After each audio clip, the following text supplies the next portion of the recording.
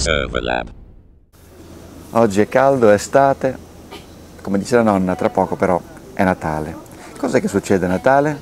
Anzi, il 23 dicembre si rompe il PC del capo. E il PC del capo è vitale ovviamente perché lui alle 7 di sera deve mandare una relazione importantissima, improcrastinabile.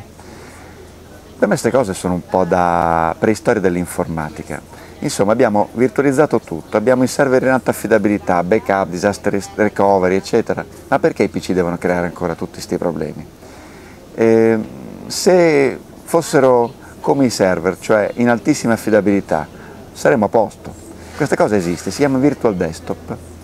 Col Virtual Desktop il capo alle 7 di sera gli si rompesse anche il PC, si alza, si va a sedere da un'altra parte, in un portatile, nel PC di un collega e lui riceve esattamente il suo desktop, con i suoi programmi, le sue icone, esattamente come li ha lasciati il giorno prima.